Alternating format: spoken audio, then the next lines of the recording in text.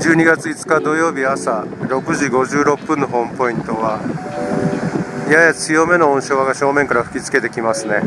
カメラのマイク部分を手で追いながら撮影しています。あ今ちょっと強いです。こんな感じです。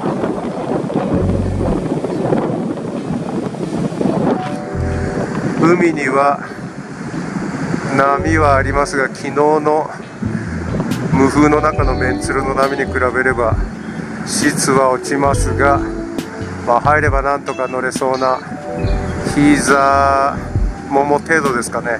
波はブレイクしてますね。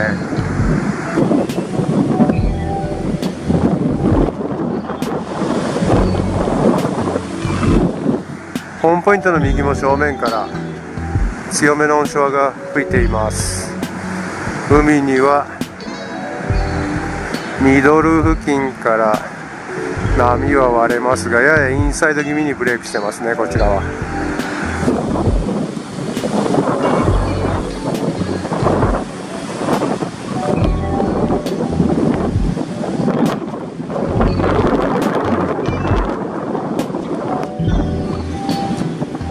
気温は12度ぐらいですね。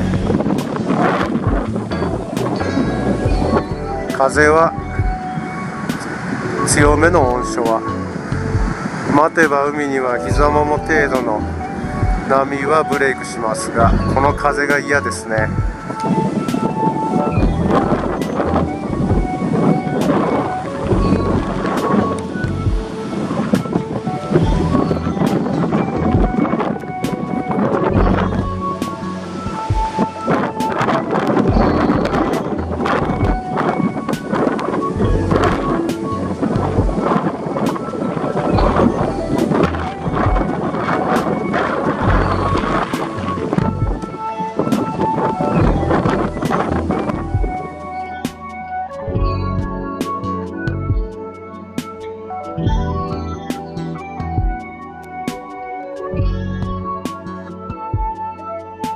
Bye.